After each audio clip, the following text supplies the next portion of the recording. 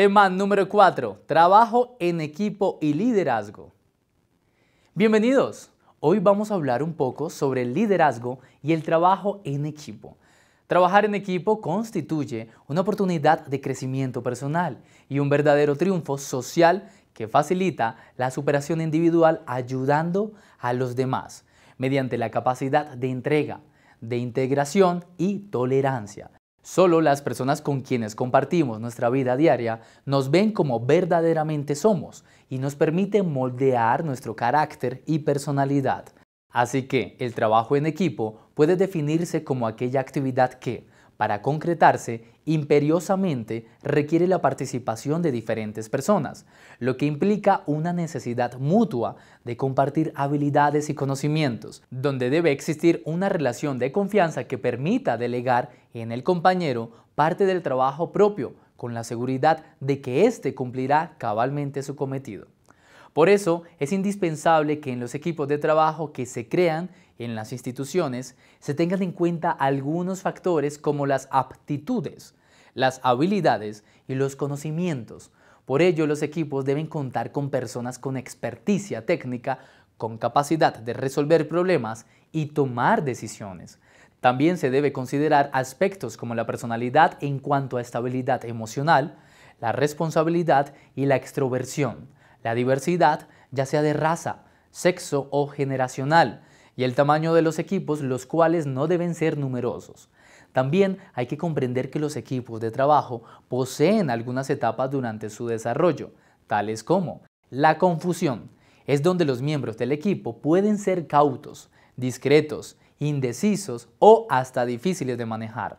El conflicto es cuando puede existir confrontación, desmotivación o aislamiento de los miembros del equipo. Cooperación. Aquí ya hay una mayor consolidación del grupo y mejor comunicación. El compromiso. Aquí ya el grupo ha alcanzado su madurez. Entre sus miembros hay una relación más estrecha, flexible y solidaria. Para evitar que los grupos se estanquen y que sean más efectivos en el logro de objetivos, es preciso que el líder sea un forjador de voluntades y de entusiasmo, a la vez, fusionar los aspectos positivos del individualismo con las ventajas del consenso del grupo.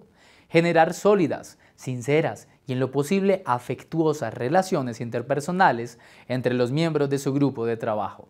Liderar el impulso para crecer, mejorar y superarse constantemente. Estar siempre bien dispuesto para aceptar críticas constructivas, sugerencias y consejos, desafiar los conocimientos adquiridos apoyando constantemente la innovación y la creatividad, escuchar atentamente sugerencias, aportes o ideas de su personal, asimismo atender los problemas e inquietudes de su gente.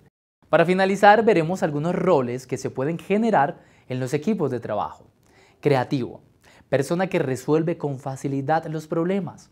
Monitor evaluador, es la persona más racional y objetiva del grupo, quien trata de equilibrar las opciones del equipo. Coordinador, el que delega en forma apropiada y hace participar a todos los miembros del equipo. Promueve la toma de decisiones. Implementador, busca una estrategia adecuada que permita llegar al resultado deseado. Impulsor, es el que anima al grupo a salir adelante, inyectando energía positiva para conseguir el objetivo central. El especialista demuestra lo que sabe o de lo que tiene conocimiento en ciertas áreas clave de la empresa. Como sabemos, trabajar en equipo es complejo y liderar es una gran responsabilidad que requiere habilidades comunicativas, paciencia, perseverancia y compromiso. No es un secreto cuando los equipos de trabajo están bien alineados, se contribuye al logro de metas y avance de una organización.